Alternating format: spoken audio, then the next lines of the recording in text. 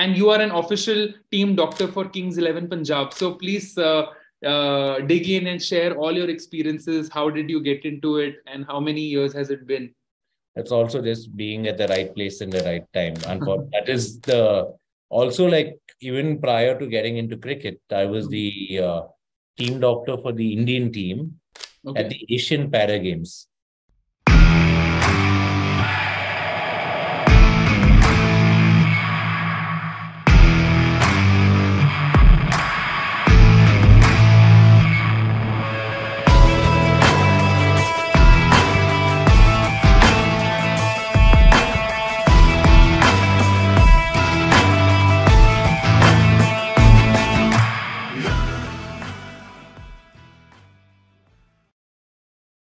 Does not matter how fast you can go. It does not matter how long you can go. It does not matter at what pace you can go. It does not matter how what distances you can go. It does not matter how uh, intense was your session. It does not matter how hard high was your heart rate. What matters is as long as you're recovering well, as long as you are showing up every single day after an intense session, after a slow session, after a medium session, and you are able to show up with the same intensity, the same vigor, and the same enthusiasm, that's when you've truly unlocked the fourth pillar of uh, triathlon training, which is recovery.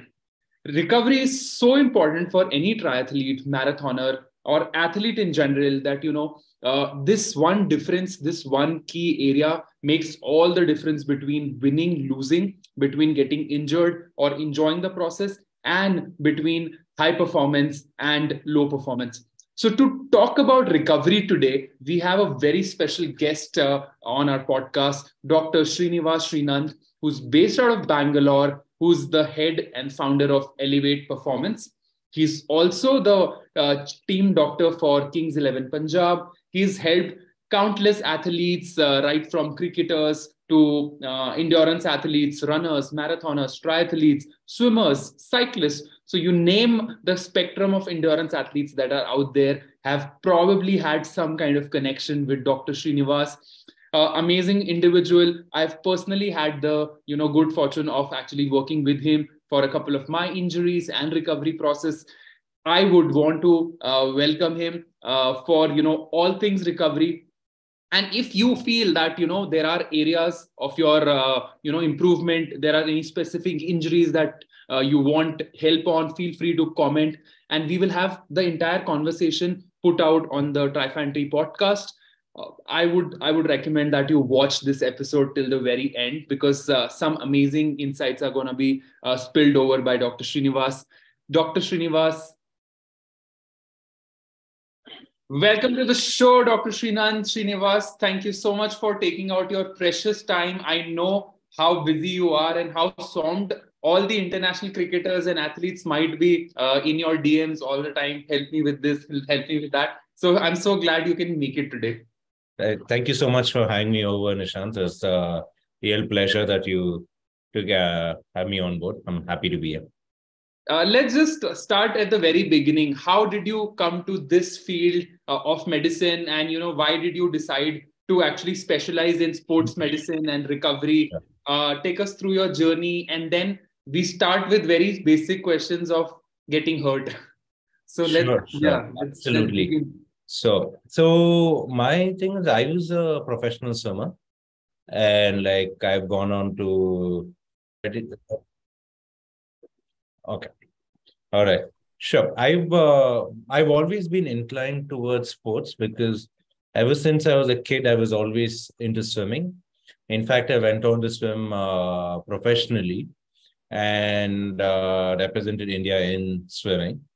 And uh, as I uh, during my when I when I was continuing to swim professionally, I took up my medical seat Hmm. And I was uh, lucky enough to be able to manage both MBBS and professional swimming at the same time. Wow. And obviously, as I was studying more about the human body, hmm. and at the same time, when I was doing sport, hmm. it made helped me bridge the two. And that's what really led to my interest towards sports medicine because I felt there was a lot that wasn't being done Hmm. Also, a few personal experiences like as an athlete, even I got injured during my swimming days. And unfortunately, the only advice I got then was to rest it out. There was no proper rehab program. And I'm talking about late 90s, early 2000s, where uh, about 20, 22 years back. The only thing that I was advised is rest. Hmm. And I think that still happens these days as well. yeah. So I feel that was a bit of a thing. Then that was my starting to, uh, step towards sports Hmm. medicine. And I've always been an advocate for an active lifestyle. And I feel that sports medicine is that's why I've taken up sports medicine, not just for recreational athletes, but also to for non-athletes as well. Hmm. Applying the concept of sports to them and making them exercise makes a lot of difference. So that's my inclination towards sports medicine. And they've always been that. Yeah.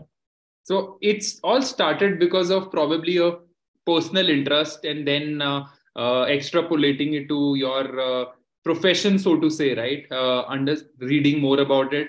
Uh, was this like a conscious choice that uh, this is what I want to do after your MBBS uh, so that Yes. I can learn more and be, become a better version, a better athlete? Yeah. So I mean, at the start of MBBS, I didn't, I didn't, I didn't know what that I was going to do. But Mhm. towards the end of, uh, uh, towards the end of my MBBS, I Mhm. kind of pretty much knew that I wanted to do sports medicine. Only thing I needed to figure out was how to get there Mhm. because there are different ways of doing it, and uh, in different countries, in in in India, it's a specialization after you finish your uh, MBBS. Okay. And uh, some countries like the US, it's a super specialization after you finish your Wow. regular. So it depends. So I went on to do my uh, after MBBS. I even I didn't pursue the specialization right away. I wanted to build up on my work experience, see if there's any other field out there. So Mhm. went on to work in different departments, different fields, and then finally uh, I did my sports medicine from the International Olympic Committee Mhm. they had a course they had designed a two-year course which was specifically for uh, doctors from countries which don't have any sports medicine Wow. uh, let's say a sports medicine field per se i mean we do have a couple of colleges in india now doing offering an md sports medicine you know but this was more designed for that trying to fill in the blanks and trying to help a nation proceed better with it. So that's where my sports medicine degree came in from. And but you're right, you're absolutely right. It usually I think uh, you do have an idea that I want to do this, this is what I want to do. But there's that one personal interaction that is the spark to Hmm. set that thing on fire. And now that decides, okay, this is what I'm gonna do. And I mean, I think that's the case for most of us. I would uh, Really. say, but yeah, but I think that's uh, definitely something. Uh, I feel you're right, absolutely right. A personal interaction is the Hmm. is the initial spark, and then you just have to charter a path through the. But uh, I would uh, I would want to compliment here and also probably dig a little deeper uh, in terms of your choice of uh, field uh, of sports med- medicine because see in in India we generally and this might be a perception and help me correct it uh, that if you get into general medicine or very specific let's say a dental doctor or maybe a Hmm. ENT surgeon or something else uh, those are volumes game so yeah, as a business and Right. uh, at the end of the day those are probably 80% one time interactions and 20% further sessions and Correct. you know, there's already so much inbound interest that you don't Yeah. really have to go out and educate people that Correct. this is what you have to do that is what and you as an athlete as an endurance athlete probably had that long term mindset and you're trying to solve a much harder problem which requires a lot of education lot of uh, pull i would say rather than push uh, sorry a lot of push rather than a pull kind of a product yeah. why like why are you trying to solve a more difficult problem here I mean, uh, because I think a lot of things can be because I probably it all comes down to a personal lifestyle. You see people around you, and then you feel like so. I mean, just to give you a little more in context, Hmm. I have two practices. One is the sports medicine practice. Yeah. And a second half of my day, I am a I have a GP practice as well, okay where uh, I have spent a lot of time treating a lot of people with diabetes, high blood pressure, and all of that. sure and I feel that uh, one of the few that is one thing. So when you're there, do you see that so many times that just a few lifestyle changes Hmm. can make someone uh, the, one of the biggest challenges I face when I as a GP is that Hmm. Uh they like say a person just been diagnosed with high blood pressure, Hmm. a 35 year old male who's just been diagnosed with high blood pressure. Hmm. And the first thing they tell me is like, do anything, doc, but don't give me tablets. I don't want to take tablets for the rest of my life. Hmm. And that kind of uh, get me going, okay. But then that is something for me, I can't do anything over it. I can do only, you have to meet me halfway at that point of time. I can Mhm. only tell you do this, do that, do this. It's like, Hmm. it's like, I mean, I'm quite sure for you as a as an Ironman coach, Hmm. if somebody comes and tells you, make me finish an Ironman, Hmm. you can give them the program, you can tell them this is what it is.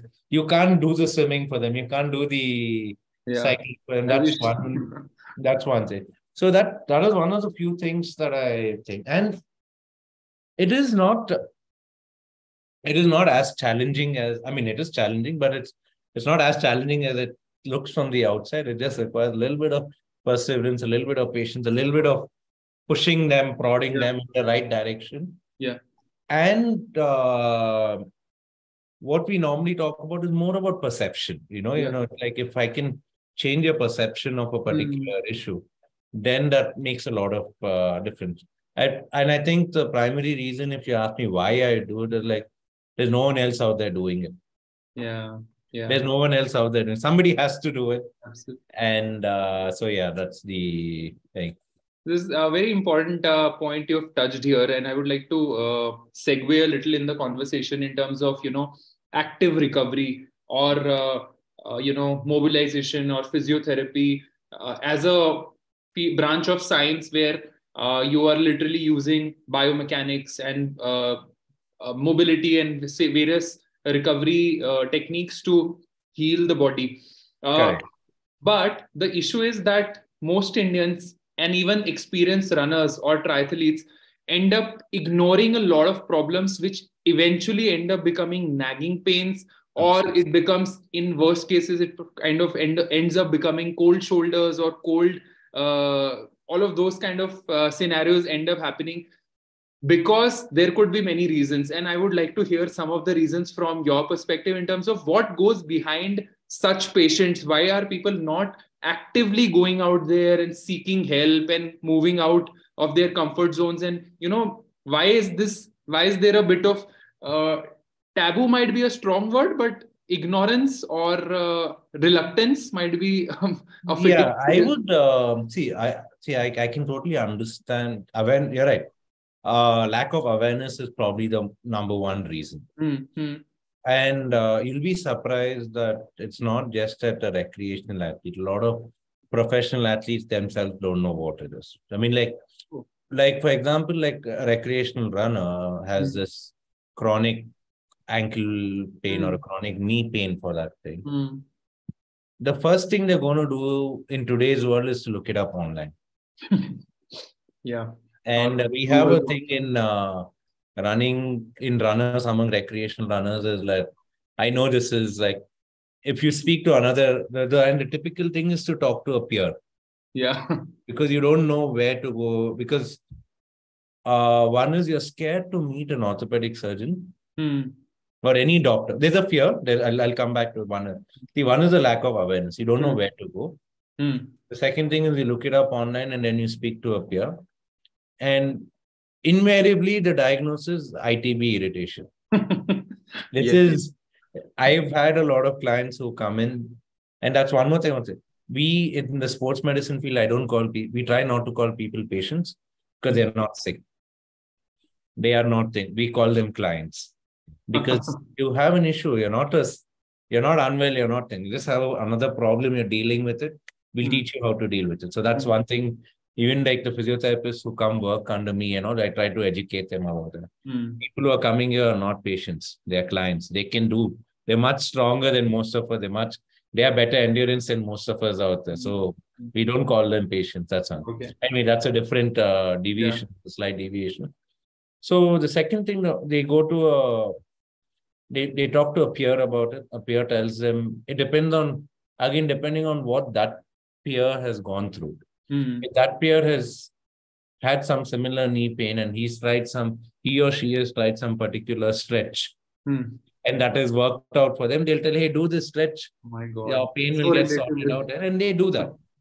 And it probably just a temporary relief. It's like, or they say, hey, go for a massage, uh, you'll be fine. So what happens is it becomes a pattern. So these guys think, okay, every time I run, I think it's normal to have this pain. So I go for a run, I come back, I'll get a massage, then I'm absolutely fine. Again, the next day I go for a run, I come back. Maybe weekly once I end up getting a massage. So it's like, in simple terms, it's like whenever I have pain, I'm just popping in a painkiller, but a different kind of Hmm. painkiller. Hmm. So that's the typical mindset. The other thing is this is the lack of awareness part. Hmm. The other thing is the fear. Hmm. The biggest fear is like, what if I go to a doctor and the doctor tells me, okay, don't run anymore? Hmm. That is a very, and a lot of these runners, the, the category that you spoke about, Hmm. a lot of them are people who've never, a lot of them, I'm not saying not all of them, a lot of them are Hmm. people who wouldn't have taken part in sports during their school days, college days, and they've started taking it up as a, a recreational hobby or Hmm. just a betterment of health in their professional career. Hmm. And now, as a co-athlete, I know the the endorphin high you get from a workout, nothing beats that. Yeah. So they don't want to stop that. Hmm. So they are ready to accept that risk of bearing the pain and continuing to run and uh, not, uh, you know, like at the risk of uh, not wanting to hear someone say, take a break, stop it. Because a lot of people do that. They'll be like, they go to a doctor, and this is, I'm not bad mouthing any doctor, but this is what I'm telling you from experience. They go to a doctor, doctor said, uh, don't run for three months. So you don't run for three months, the pain is not going to be there, but you not doing anything to rectify that uh, root cause. So that's something which is very, very important. So that's one of the main deals. So and also these niggles, right? They start off very, very subtly. Hmm. Like, You won't even realize it. It's there. Mhm. You just think it's a normal process, and then three months, six months, or one year down the line, you're suddenly Yeah. Every time you run, anytime you cross two, three kilometers, the knee starts hurting. So this is mainly, I think it's a combination of the Hmm. fear plus lack of awareness. That's yeah, that's pretty much the thing. Yeah, I think uh, uh, what uh, what we are trying to do here is obviously initiate a conversation, and I'm very sure that you would be speaking with a huge number of individuals on a daily basis who come with a mindset of uh, I'm okay. Up, why don't you do this small thing for me, and I'll be fine. Uh, I, some, in fact, most people look uh, doctors in a way in a weird way if they don't give any kind of medicines people Right.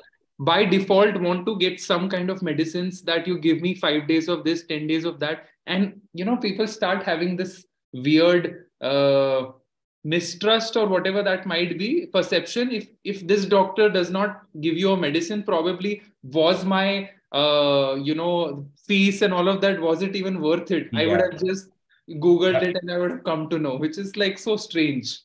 No, you're absolutely right because I've had uh, uh, this is something I've experienced more in my GP practice. Hmm. So many times people would have uh, they would have gone to a particular another doctor or another clinic Hmm. and like say yesterday this morning Hmm. and medicines don't work overnight they need some time to work it's not going to do it's not magic yeah it's going to take some time so i've seen a doctor i had this i think two weeks back i had this incident and then uh, this lady went and saw a doctor in the morning for i know it's not sports but for cold cough fever and all Hmm. the doctor has given her some medicine Hmm. she's come to me in the evening saying uh, i started these medicines this morning but i haven't seen any uh, improvement and she started i'm like okay so i went i examined her i had a look i checked her oxygen i listened basically you know a typical medical examination i did a full examination Yeah. of her and i reviewed all the medicines that the other doctor had uh, given and everything was correct you just need to give it some time to Yeah. work So I told her the same thing. Hey, listen, the medicines are good. Continue the medicines. You don't have to change anything. And you, I spent my usual 15, 20 minutes talking to her, speak. And then she's like, okay. And then she's like, then she's like, do I need to pay consultation? Mm. I was like, uh, yes, because I did. I mean, I did make sure you didn't need anything extra, but, Yeah. but you haven't prescribed any medicine. Why should I pay consultation? So that is unfortunate. You're right. You're absolutely right. That's the mindset. So what we've been doing, what I've been doing in the clinic is in my sports medicine clinic, keeping one of these things in mind. Hmm. When I uh, so my as I think when I say I'm an exercise physician, and I talk about people doing rehab and all of it, I put the exercise in a prescription form. So, I mean, yes, that, that is one thing is the uh thing, but people also understand how to do the exercise better. Yeah, yeah. Imagine if I just tell them, okay, uh, uh, somebody comes with uh, lower back pain, and then you say, you just need to strengthen your core, core strengthening, and you send them back. Instead Yeah. of that, if you write a prescription and say, do this many reps of this exercise, this many reps of this exercise, it's easier for them to follow. True. So we try to give exercise in a prescription form, as funny as it sounds. Yeah, It makes people a lot more uh, 100%. compliant with it. It's just so much easier for them to. Hundred percent. I've uh, personally, you know, as a athlete, I've been uh, into the field for about eighteen years. Started running way back in two thousand five, and it's been eighteen years. And uh, because of the you know longevity in the sport, you end up obviously getting hurt somewhere or the other, and then you do seek out help uh, from various sources. And what Yeah. I've seen this, which is which is such a fundamental thing, which you have just mentioned, that even if you go to a physiotherapist for once or twice or thrice they Hmm. will tell you that let's say your glute is tight or this is Hmm. tight and you should do this and they will also show you the exercises four five of them uh, 10 second hold 20 second hold this that Hmm. all of that but by the time you walk out of the clinic you would have forgotten half of them and the next Absolutely. you would have forgotten probably remaining and that's why i think even from experienced athletes like me or various people i know the compliance rates are so low. Correct. there's things you know just probably five days of strengthening uh, with those basic exercises can lower your pain levels by probably 20 30 percent but we end up forgetting. So this Absolutely amazing thing that you just mentioned about compliance uh, and by writing the act of writing it down journaling or whatever that people might call it is Absolutely. better No, you're right. So because so what I've done is uh, so basically my sports medicine clinic is called uh, Elevate Performance, yeah and uh, what we do at our rehab clinic is I, whenever someone comes in for an injury, Hmm, hmm. I try not to call them to the clinic for rehab more than twice a week. okay So the whole concept is yes, you still need your 5, 10, 20 sessions of, or more, depending on the extent Yeah. of the injury and all of it. Hmm, So what we try to do is uh, we don't call people every day. hmm. I because strength takes time to develop. A lot Yeah. of rehab is based on strength. If I call you Monday to Friday and make you do 10 different exercises, it's not going to help you whatsoever. yeah Instead of that, if I spread those five sessions, let's say twice a week, Hmm, that's five sessions spread over two and a half to three weeks approximately. hmm. The chances of you getting better, the chance of you being pain free are a lot higher. Higher. So the whole concept is to, let's say somebody comes in on a Monday, we uh, teach them some exercises and we Hmm. tell them, we want you doing these exercises Monday till Thursday. Hmm, Come back to us on Thursday. hmm, We'll see what progress you made on Thursday. Hmm, We'll revi- review the exercise. If there's good progress, we scale up the exercises, hmm. add in some variety, make it a little more challenging. Review them again on Monday. Hmm, So this does two, three things. One is it does uh, help improve the compliance hmm. because if, if you know that you have to go only twice a week compared to every day, because physiotherapy is something that can't be rushed. Rehabilitation exercise can't be rushed. It will take out two hours of your day. Yeah, yeah. One hour of exercise, getting there half an hour, coming back to your Right. office or home. It takes so two hours of your time every day, which is a lot of time in a daily routine. Two hours is a lot of time. So instead of that, so you don't you you start losing interest. You start losing. Uh, you, keep. Hmm, Then what happens is you do rehab for the sake of doing hmm, rehab. hmm, You're not doing it because you're starting to understand why you're doing it. So we try to keep it, space it out, try to make sure that they understand what they're doing. And when you ask them to do these exercises on their own, Mm. now let's say you are doing exercise between uh, from Monday, Tuesday, Wednesday. Mm. You know that hey, you're coming back to the clinic on Thursday. Mm. You have to do the exercises, otherwise the physiotherapist will be able to see no progress, lack of progress, Okay. or a thing. You you can make small degrees you can make out. Oh, really? And so this also helps you become independent. Hmm. So at the end of the day, when you finish your rehab, Hmm. let's say you do 10 sessions of rehab with two sessions a week, that takes about a month to finish. Yeah. Yeah. And a month is what you need. 10 days will not do the job. Absolutely. A month is what you need. So at the end of a month, you've done continuous exercise for a month. Hmm.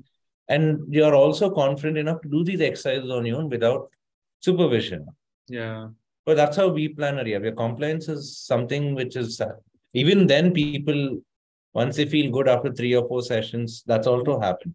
So many times people feel good after three, four sessions, they forget the pain, Hmm. but they they have not done anything to prevent it from uh, happening again. again or reduce the chances. I wouldn't say prevent it because no rehab or prehab program is hundred percent uh, 100%, yeah. injury thing. At least reduce your chance of it Hmm. happening again. And one month later, again they're back in the clinic for some dealing with some injury or something. So yeah, that's the thing with compliance. So we try to figure out a way to make it as uh compliant for the client so that Yeah. they also enjoy their rehab and they become independent at the end of it. No, I I agree with you. I think uh, I've been to your clinic a couple of times, uh, even with my mother, and for my Hmm. injury as well. And uh, the way you take care of uh, the parent, uh, the patients or the the clients uh, is uh, Yeah. exceptional. Right from the very beginning of actually hearing the in end to end prognosis or diagnosis in the beginning itself, because Right. uh, I think uh, I shouldn't be uh, making a generic generic uh, statement, but I've seen a lot of doctors just hearing maybe a couple of minutes of uh, uh, you know queries and then they'll just make some assumptions. So it Right. happens in some of the fields, but here you are actually spending 15 to 20 minutes and asking literal que- questions which probably we even we didn't think about. What did you do the week before? What uh, shoes were you wearing? Did you sleep all right? How did this happen? How was the entire thing? Which is so amazing because you know at end up you end up getting all the answers in the conversations itself. Yeah. and then the process of recovery also the conversations during uh, the actual physiotherapy and all of those sessions is also pretty enjoyable. So uh, not a plug-in but i would definitely recommend everyone in bangalore to visit elevate Oh, thank you so much, and I appreciate that. Uh, yeah i mean and this is a true you know customer testimonial so to say but uh, it you go a long way you know in helping out your uh, clients uh, which is amazing in today's day and age where everything is about scale and numbers and let Hmm. me do this all of that Yeah, thank you. I appreciate the shout out. That's pretty cool. That's very nice of you. Yeah. All right. So, uh, moving to an important part of conversation, which is uh, around cricket. Uh, I'm sure there are a lot of uh, cricket uh, fanatics out there, especially in India. They are everywhere.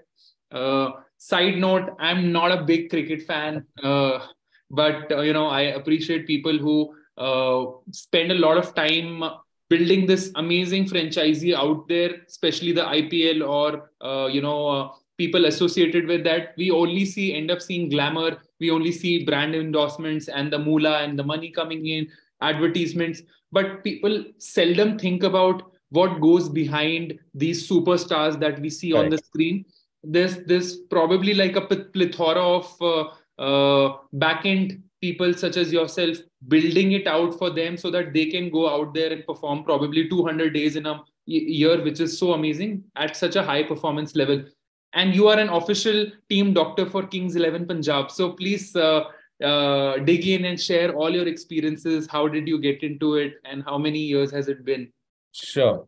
So how do I get into it? I mean, uh, I mean, there are a lot of talented doctors out there. A lot of Mhm. I think it's sometimes it's also just being at the right place in the right time. And for that is the thing. I mean, I had to go through an interview process and all of it. And once they were happy at the interview, they went through my referrals and uh, like, and it's also like even prior to getting into cricket, I was the uh, team doctor for the Indian team okay. at the Asian Para Games, oh. where you had to. We went to Indonesia with the entire like a hundred members strong contingent. We had to take care of their injuries, wow.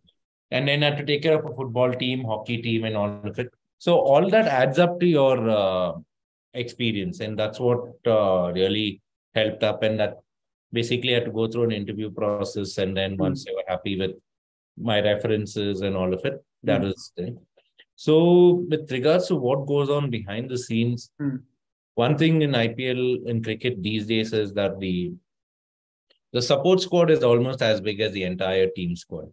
Wow. You have 25 players there, you have at least 20, 25 support staff over there. You have different wow. kinds of coaches, you have full time uh, masseurs attending to the players, you have three, two to three physiotherapists, you have a team doctor, and these guys travel with the team.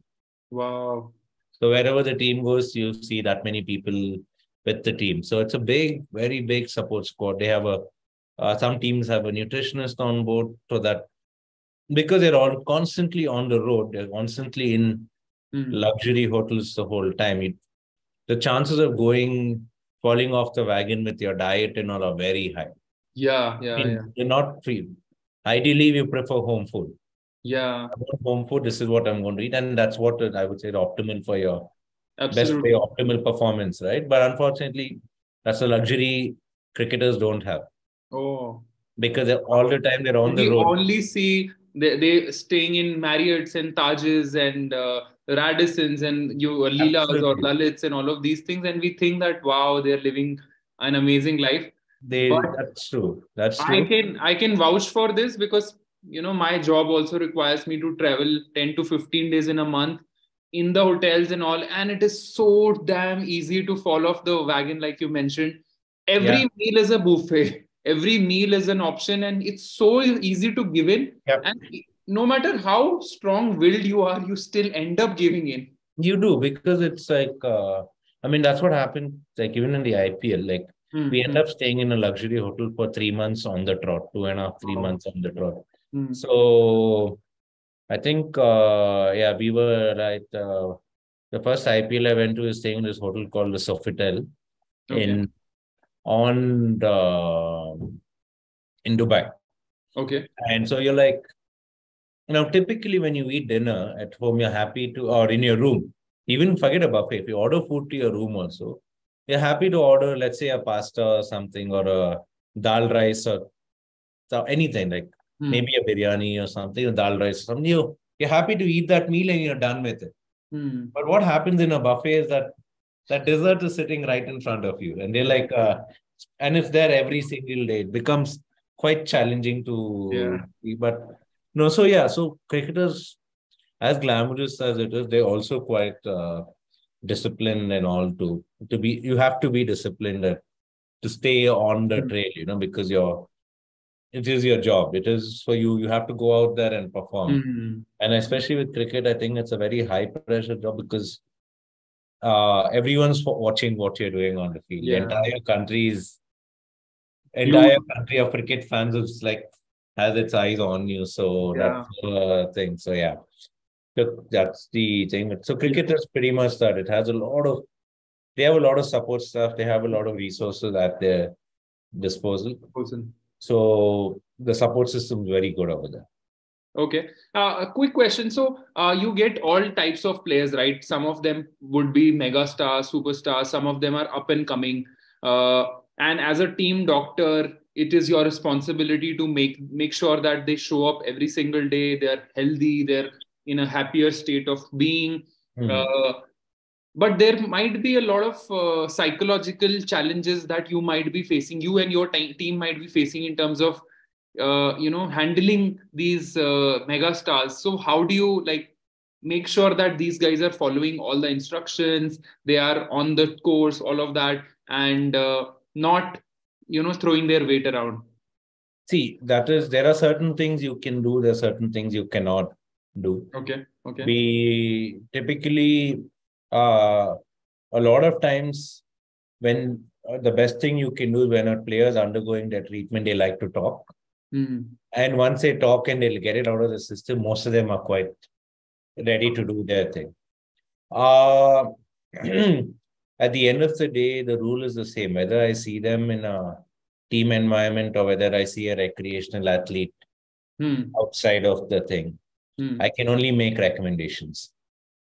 I can only give you the guidelines. Hmm. At the end of the day, you have to, it's Hmm. up to you to follow them or not. And this is, it's the same rule, whether it's, uh, whether it's a player, whether it's a high profile player or a player throws their weight around or Hmm. whether it's a, whether it's an amateur runner who's running, let's say a Bangalore marathon or a Mumbai Hmm. marathon or something.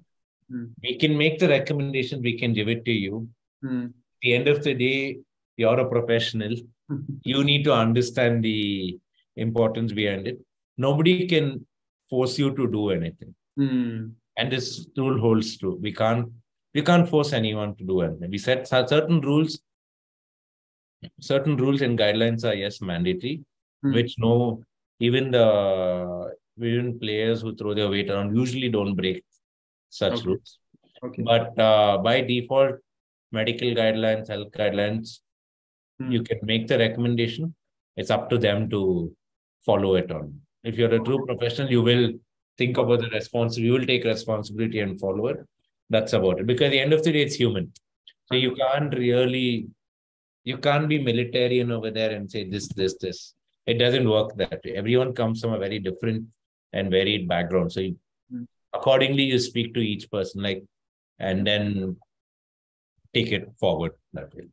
Any uh, anecdotes, uh, stories come to your mind in terms of uh, amazing experiences that you've had uh, as a as a doctor, or maybe just as as an enthusiast of the sport? Uh, that's something that you probably, as a non-team doctor, aspire to see.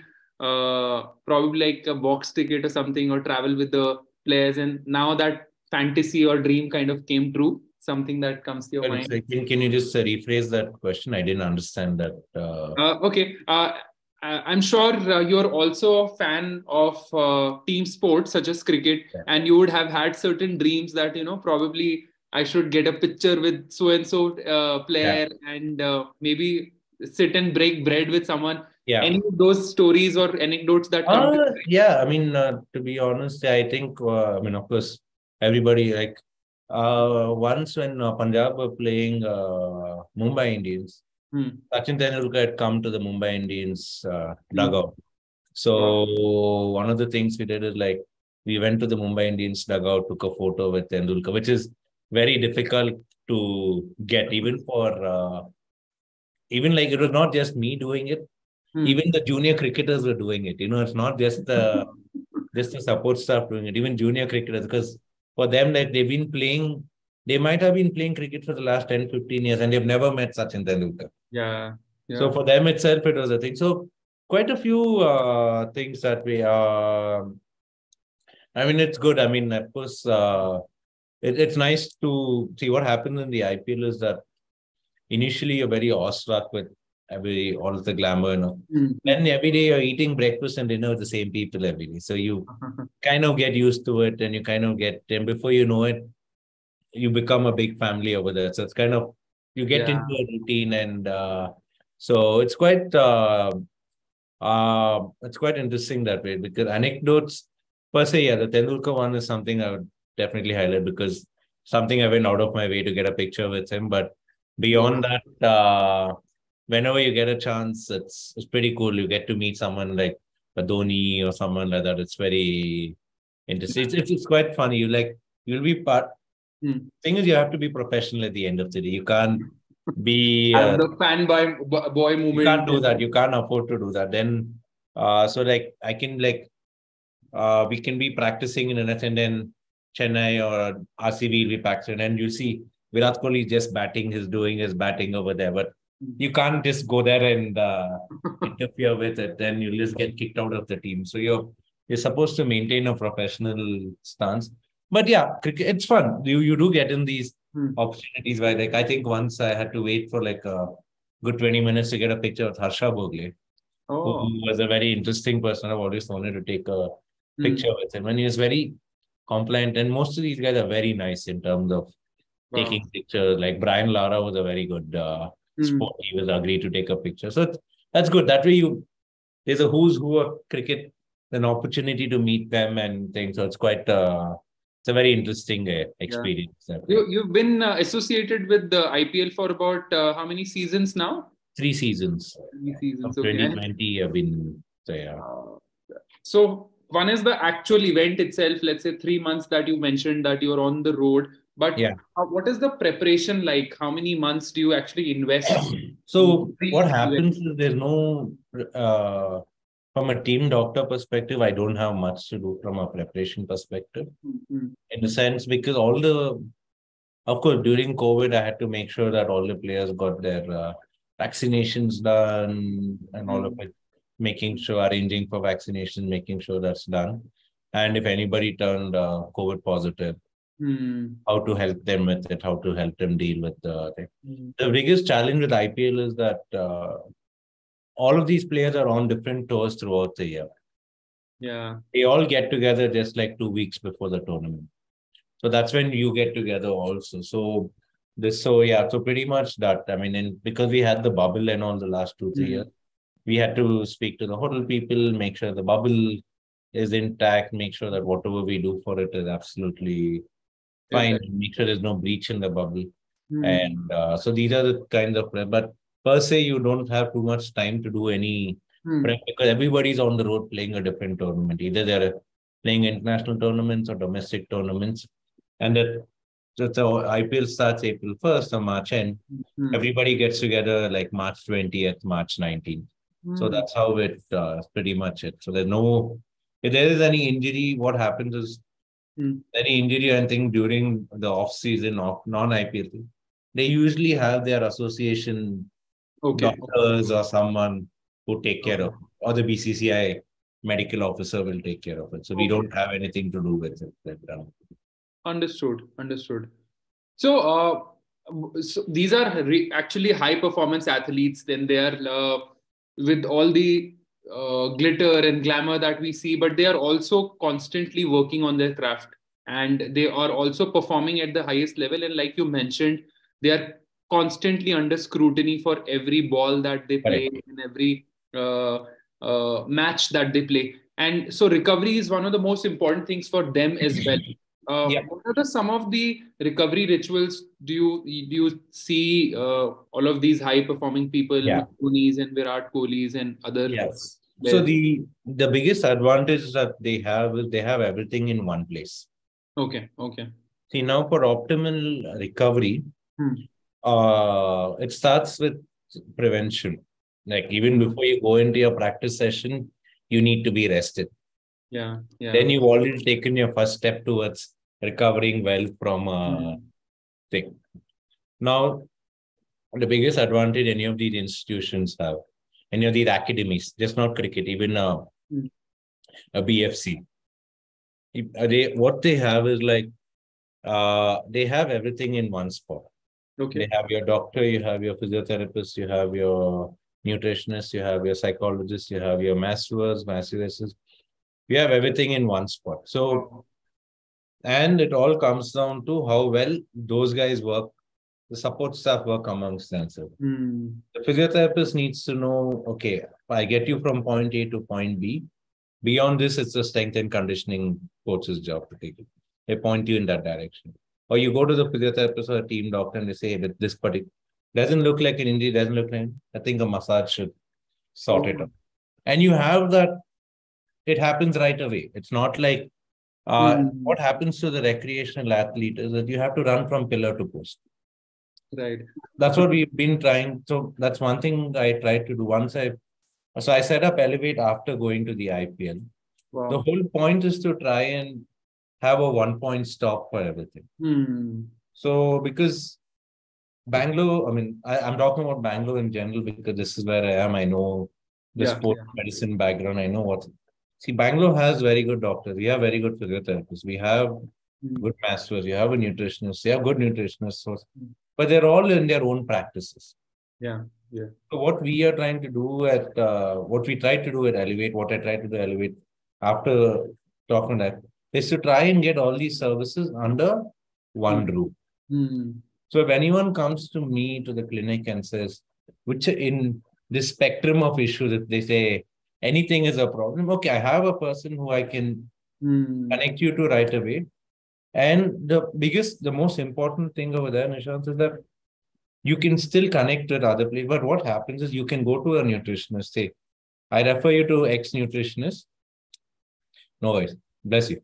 I refer you to X nutritionist, and uh, X nutritionist does pre- prescribe this, this, this, and they tell the client that.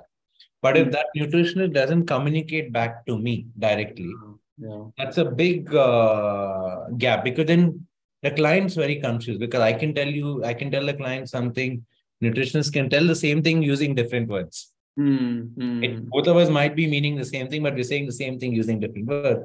It leaves the client very confused. So what we're trying to do is do the same thing. Get everything under one roof Hmm. and that will itself so try and you're trying to make the recovery environment Hmm. as optimal for the recreational athlete as it is for a high performance athlete. That's the whole goal of it. So that's what happens. The recovery routine is that they Hmm. Hmm. there's no fixed regime. Everybody have a different thing. Like Hmm. some players like to get massages every week. Hmm. Some players don't want a massage at all throughout the tournament. So it depends. It goes very, very, and they both perform equally well. It's not that the person who's getting the massage weekly is doing the right thing, or it's not like the person who doesn't hasn't gotten a massage is doing the right thing. Hmm. Some people, there are some players who sleep at 11, 12 sharp, get up at 7, and they're. uh, no, there are other players who sleep at 3 a.m. and wake up at lunchtime. Wow.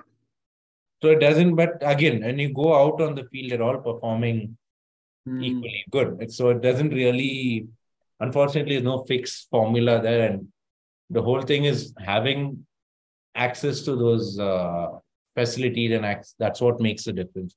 And I think recreational athletes also, if they have Hmm. access to those facilities, right place and right thing, they should be having an optimal thing.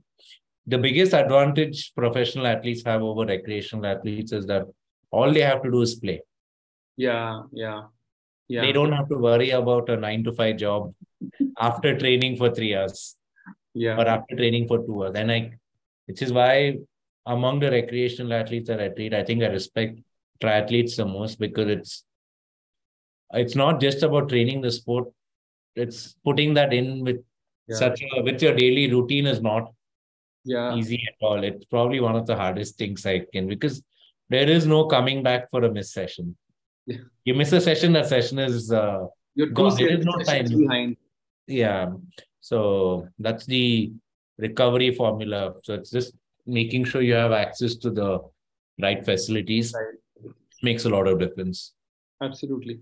I think a great point in terms of, you know, uh, people, especially like us, uh, recreational athletes who and uh, who have access to resources, but yet, uh, you know, think about let let me get this fancy equipment, let me get this massage, let me get all of that. But the the essence of all of it is that if you can actually have everything in one place, because Yeah. everything is connected. It's not like one massage or one equipment or one Theragun would actually solve anything.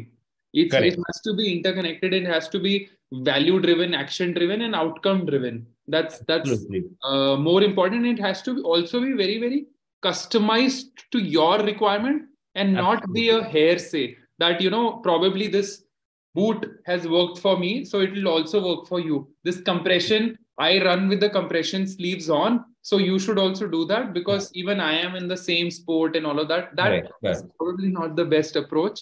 Correct. You're absolutely right about that. So you're right. That's true. It, it is a very customized approach. Hmm. And uh, like even with a masseur or something, if I can send you to a master or a masseuse who I can communicate to Hmm. and tell them, hey, this I need this area seems a little bit more tight. Hmm. Work more on this. Take it easy on the other parts. They do that, Yeah. and because otherwise you just go to a master like Hmm. and they just keep uh, there's no application. You know, it's just like you do a generic treatment, so that Yeah. really changes the thing. Yeah, yeah. I think that feedback, that live feedback, and that interconnectivity in all the areas is super important for actually being able to go go back and come back uh, and perform at the same level. I think that's, uh, you're, that's you're right. You're absolutely right. But uh, moving to the last section of our uh, discussion uh, and uh, segueing towards the triathletes. Now, mm. triathlon is fairly new in India. There have been people who've been doing it for a couple of decades also, but far and few, we all know. But somehow it has kind of taken off after Ironman Goa in 2019 and then again in 2022. Uh, and we see that right now the tribe is probably around 3000 to 4000 people in the entire country which is still on the higher side. I think number might actually be around 3000 4000 but it is slated to increase to uh, 10000 in a year or so and then probably uh, leapfrog from there.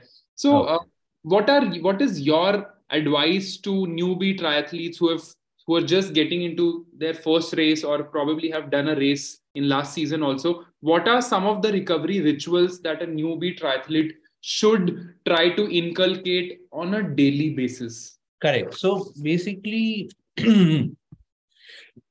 so when you talk sorry when you think about uh, recovery right like i was uh, talking about the cricket also the recovery for that day's workout starts the previous night hmm. you've not slept well you've already predisposed yourself for some sort of injury Oh. So let me, so before coming to why, what I'm talking about recovery, mm-hmm. let me tell you how uh, injuries occur in the first mm, place. Yes, please. So that when we have how, when we know how injuries occur, mm. then we know how, what we can do to prevent uh, yes.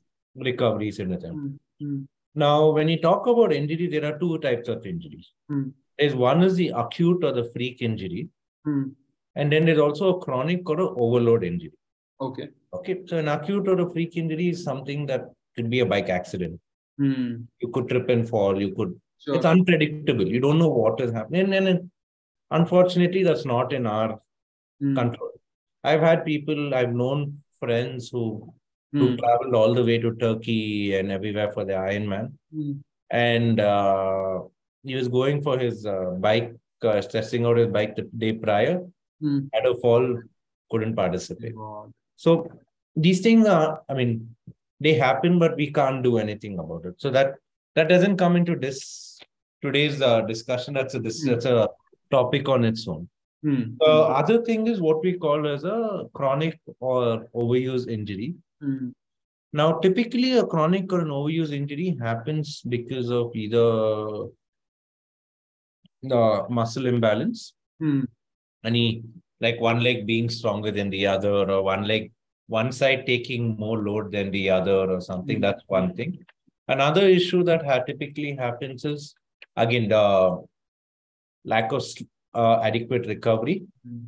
lack of uh, adequate uh, nutrition, okay, lack of uh, strength training. Mm-hmm. These are the things, or uh, or it could be lack of it, or it could be inappropriate. Hmm.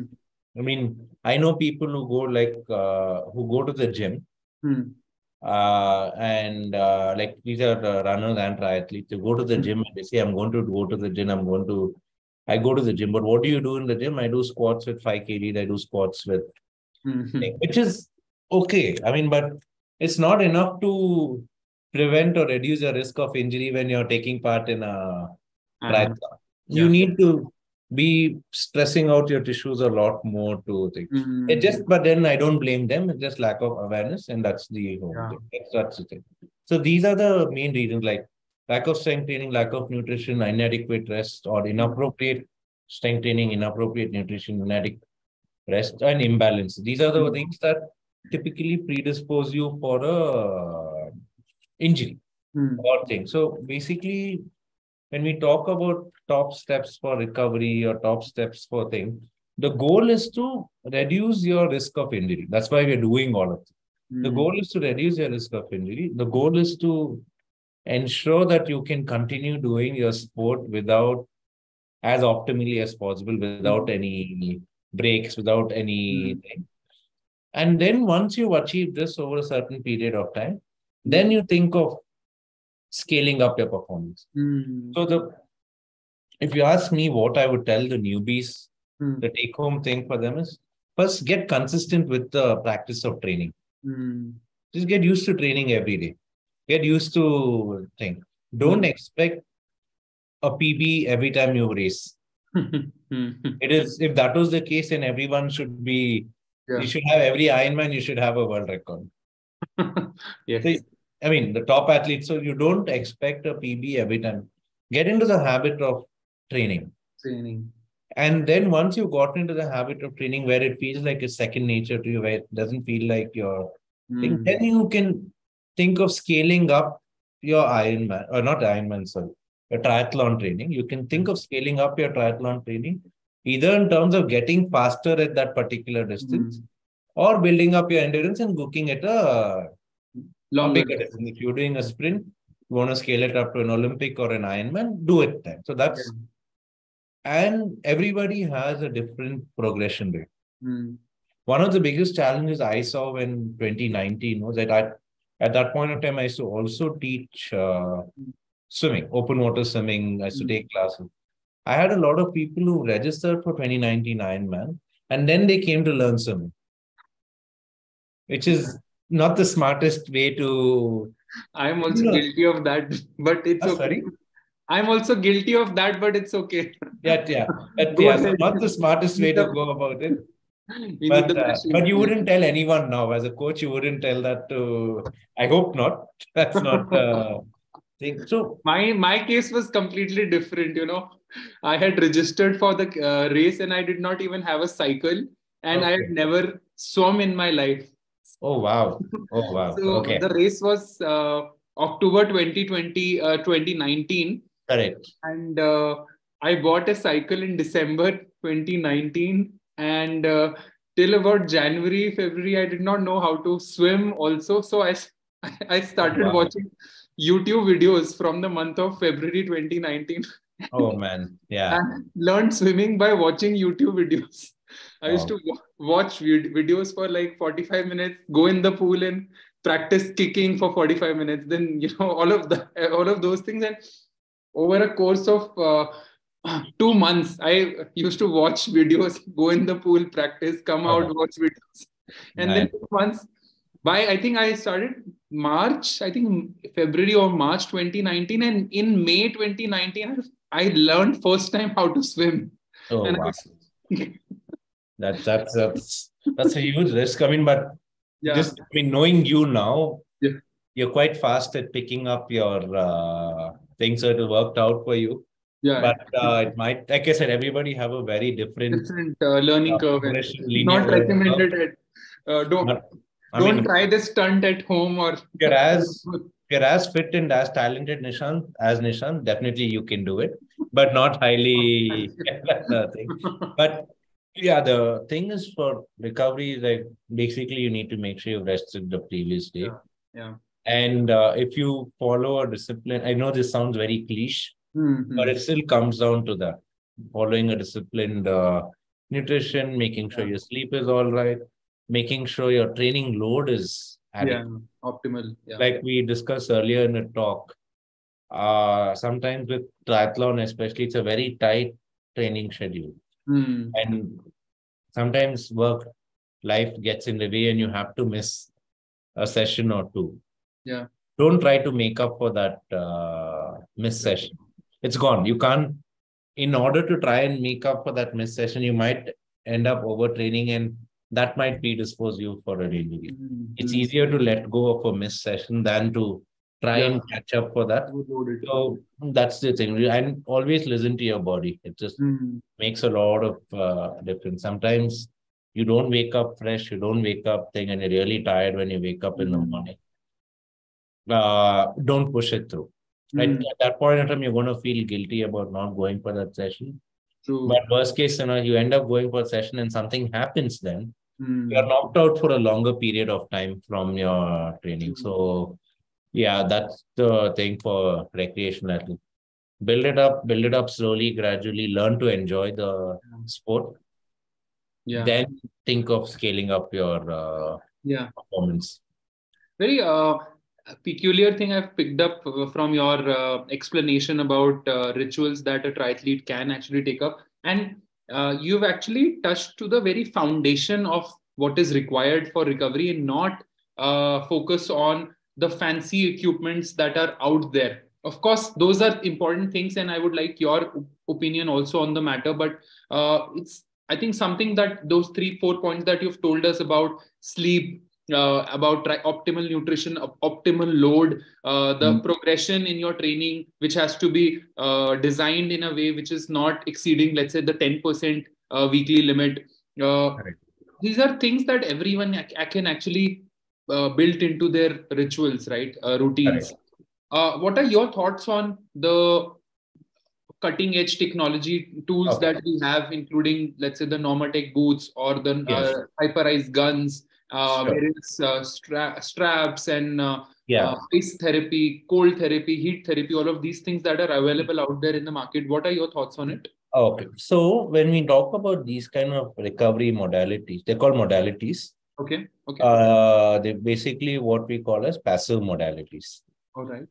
All right. Uh, so now these are good tools to mm-hmm. use, but at the same time, they're not mandatory tools. Okay. okay. You, it's like uh, I mean, I'm, I'm quite sure someone. It's it's really nice. It's a very good convenience to have. Like if I hmm. can have someone who can just come and massage my feet at the end of the day every day, that would hmm. be something that'd be really good. But it doesn't necessarily mean it's the best thing out there. So, see, the end of the day, these passive modalities can only do so much. Mm. If my if my fundamentals are not in place, Mm. The passive modalities can only do so much. It's a good supplementary tool mm. when everything else is in place. If I don't sleep well, I go to a workout and I end up being very sore. And if hmm. I have to depend on a on an Hyperice gun or any gun for that matter, any massage gun to help me feel better, the fact that the very fact that I need to depend on this gun after every session mm. tells me that something is wrong with my training gun. Right. Does that make sense? Absolutely. 100%. So it's good. It's a good tool, but you shouldn't be dependent on those. Any of there are a lot of different things. There are people like even when it comes to rehabilitation, mm-hmm. as much as possible, we try to make people do exercise. Yeah. First session, you come in, we might do a little bit of needling or a little bit of myofascial release or trigger point, different different modalities out there just to loosen up that muscle mm but that is just like a band-aid.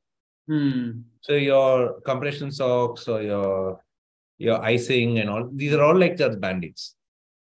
It'll help you recover from that session, but you shouldn't be in that position after each training session that you require. Hmm. Your body, your load should be such that your body can get back to its normal without depending on it. If you're getting if you're being dependent on that, then this you need to revisit what's happening in the training. Same thing with the rehab also.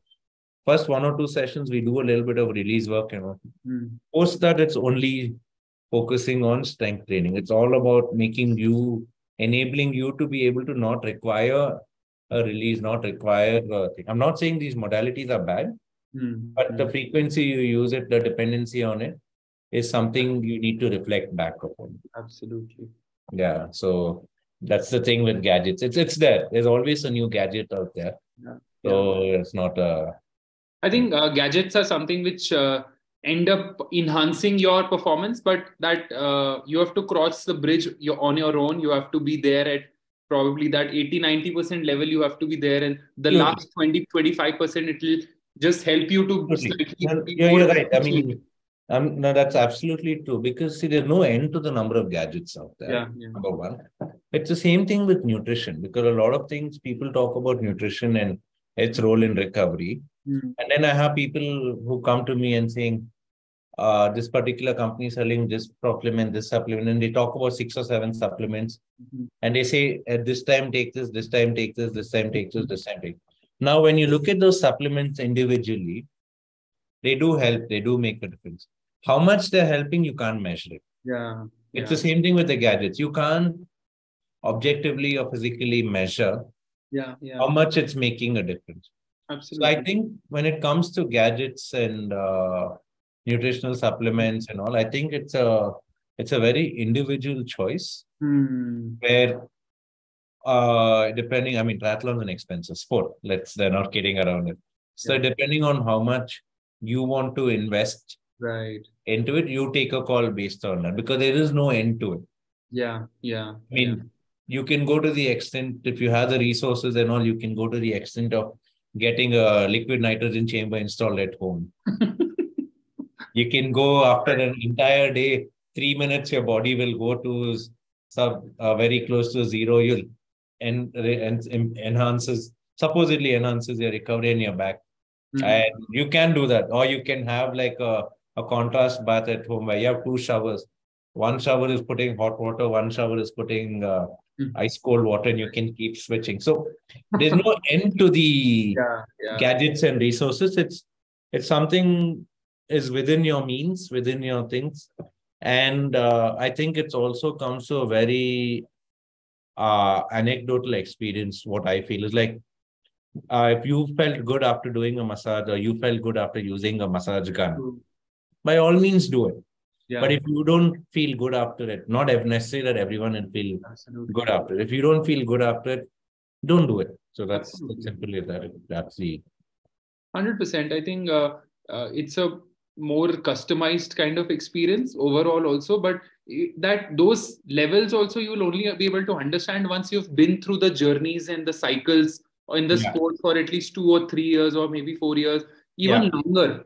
Yeah. At the end of the day, what I've, I end up seeing, especially uh, where we started the discussion, was that it's a new sport in India and a lot of Yeah. new things are coming up. A lot of new people are coming in. So that also means there's a lot of borrowed knowledge. There's a lot Yeah. of uh, Googled knowledge which is available, which is probably very generic in nature. But if you continue to apply those kind of borrowed experiences in your own experience without having to having gone through the right channels of uh, a qualified coach or a qualified Yeah. doctor who's also been able who's also followed the journey for a few clients patients and customers and not just be theoretical nature that's when you will be actually able to uh, get the right value out of it otherwise there could also be uh, drastic you know uh, experiences out there because i mean let's face it this is not one of the easiest in fact it is the hardest It is. Uh. Oh yeah. uh, Huge respect for all the athletes out there. It is one of the hardest endurance sports out there. Actually right uh, that's what it is called also but if you don't actually respect the process and go through it i- in science and sports science and data based approach you will certainly end up uh, getting injured along Right. the process Yeah. On that note, Nishant, I mean, there is always a little bit of trial and error. This happens to all athletes, but you have to be smart with how much you want to trial because Yeah. that will decide. You don't want to make any drastic experiments. I mean, it's good to have a general guideline, and then you play around a bit with it. There will be a little bit of trial and error because, like you said, not necessarily that one thing works for everyone. absolutely So yeah, but you're right. It's uh, better to be a little safe when take it a little slower than to rush into it. Absolutely. Uh, Dr. Sh- uh, Srinand Srinivas, you have been a pleasure. It has been such an amazing, uh, you know, experience, a learning process for me also. Uh, I'm sure whoever listens to this today would uh, go back, uh, adding to their knowledge, uh, uh, you know, base and experience. Any parting shots, any parting thought that you would like to share with the audience? Oh no, I mean, uh, so yeah, I can uh, can give you my booking link, but hopefully you don't have to use it at any point of uh, time. But uh, no, there's no. See, what uh, the only thing I would tell an audience thing is, if you if you start noticing any niggle, Hmm, hmm. any sort of discomfort, have it checked. Have it checked. It might be overkill, but have it checked. Make sure it's nothing before it becomes into Hmm. something that forces you to take time off. Yeah. You know, Yeah. that before it becomes something, you feel that something is off and you feel that it's not a thing, definitely have it checked by a medical professional. And uh, Mm. yeah, that should be the thing. Be, just don't don't ignore it. That's the only. That's what I would tell people. Awesome. And uh, any uh, races in your bucket list, any specific uh, sports or events that you would like to do in the near future? Uh, for me, the near future is just to get back into a regular fitness uh, routine. But I did run the Mumbai Yeah. half last month. But uh, the thing is to get back into routine. Probably the next event I'm targeting is if I'm in town is the TCS uh, 10K that happens in Bangalore in May. Yeah. That for now I'm just sticking to this year probably sticking to recreational running. All right. I might get back to open water swimming uh, next year. Awesome. That's awesome. Uh, thank you so much for sharing your thoughts and uh, recovery rituals, Dr. Srinand. Uh, it has been a pleasure. Thank you. I will be putting all the links to uh, Dr. Srinand's profile in the show notes and uh, will also tag you. Feel free to reach out to him in DMs or you know in the comment section for any specific questions.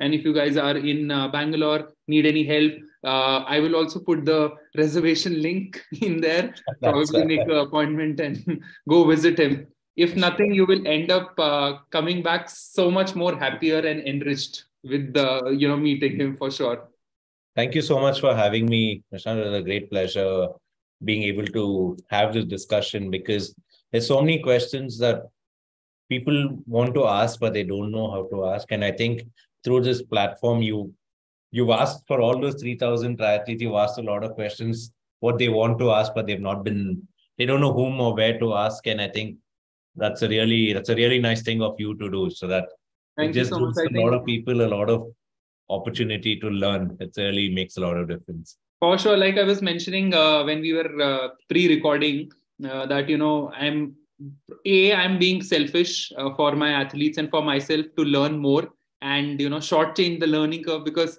experts such as yourself who have spent 20 years in a field are coming down and funneling and every you know distilling everything in an hour. That, that's just amazing. That's one way of looking at it. Yeah. Another way of looking at it is what they've always taught us is like when you teach other people you actually learn your subject better. And this i know this for a fact because every time i explain a, the same condition let's say somebody has a uh, IT band pain or a knee and pain in the knee every time I explain this to a client, hmm.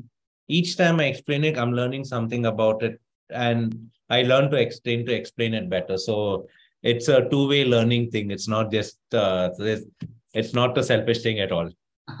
I think uh, enough of uh, we've been eating a lot of humble pie this evening. Thank you so much once again no for uh, taking out your time and uh, sharing your beautiful thoughts with us. Thank oh, you so much. Thank you so much, Nishant. Okay, that. Right. Uh, guys, uh, please subscribe to the channel Trifantry and uh, let's continue to train, endure, conquer life. That was Dr. Srinand Srinivas. I hope you enjoyed the conversation on recovery. Uh, the basic principles that he talked about were uh, the recovery starts much before the actual day itself. It starts with seven to eight hours of sleep. It starts with the right diet. It starts uh, with sticking to the basics warming up cooling down uh, taking care of your macro and micronutrients.